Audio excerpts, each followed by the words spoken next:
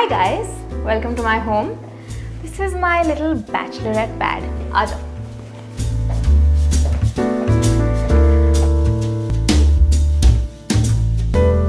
I love to show you guys because this is my happiest space और यहाँ मैं TV देखती हूँ शूट करती हूँ स्क्रिप्ट लिखती हूँ, रोती हूँ लाइफ को लेकर, खाती हूँ everything so welcome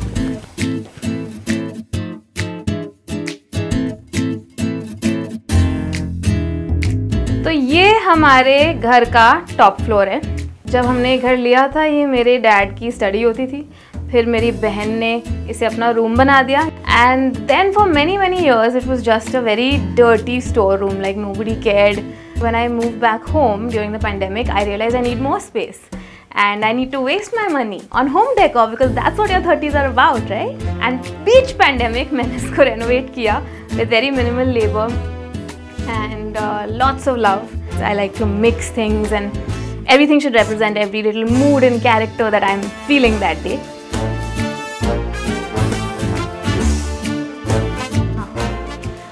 So guys this is my T V lounge यहाँ मैं टी वी देखती हूँ और लाउंज करती हूँ और खाना खाती हूँ for this room no I wanted a very cute and colorful vibe.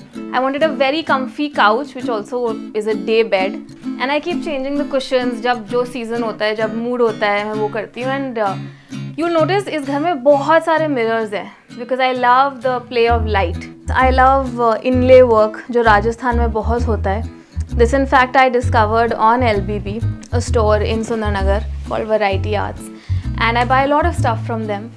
I love uh, putting a lot of cane and rattan work everywhere. You see a lot of it in the house. I'm obsessed. Even my baskets here.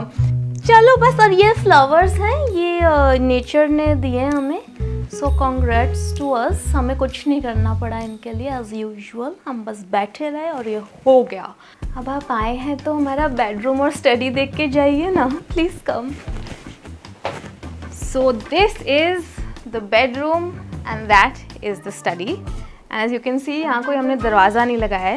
And यहाँ बहुत सारी natural light आती है।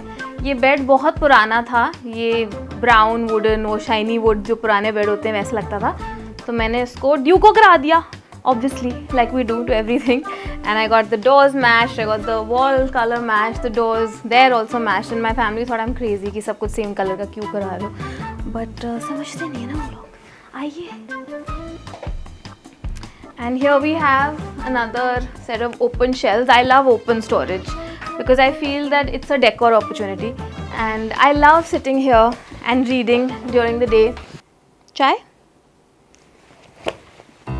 come let's go to the study मुझे हमेशा से शौक था कि मेरी एक स्टडी हो जब मेरी स्टडीज़ कंप्लीट हो जाए ताकि मुझे वहाँ पे स्टडी ना करना पड़े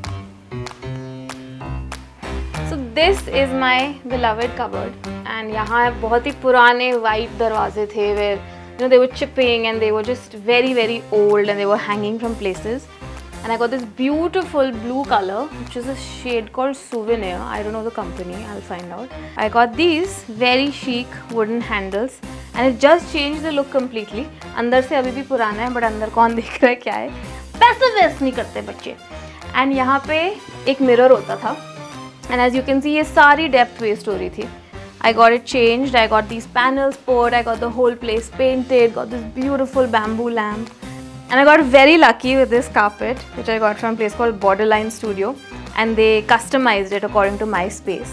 क्योंकि मैंने उनको बोला था कि मेरी छोटी सी स्पेस है तो मुझे ये ऑप्टिकल इल्यूजन चाहिए बट थोड़ा छोटा चाहिए तो उन्होंने मेरे लिए ये बनवाया इसको क्या कहते हैं स्टोरेज यूनिट कबर्ड कैबिनेट हाँ ओके हाँ and uh, this was an old cabinet it was black in color and uh, instead of getting rid of it I just got these lovely knobs and I again painted it the same blue color this blue color is in most of the wood here ये हमारी pantry का दरवाज़ा है जहाँ मैंने बहुत ही cute fluted glass लगवाया and I am talking too much I guess and यहाँ बैठ के मैं जूम कॉल करती हूँ स्क्रिप्ट लिखती हूँ um, कुछ खा भी लेती हूँ as usual I'm really really fond of buying like geometric art and you'll find that a lot of great Indian artists do it.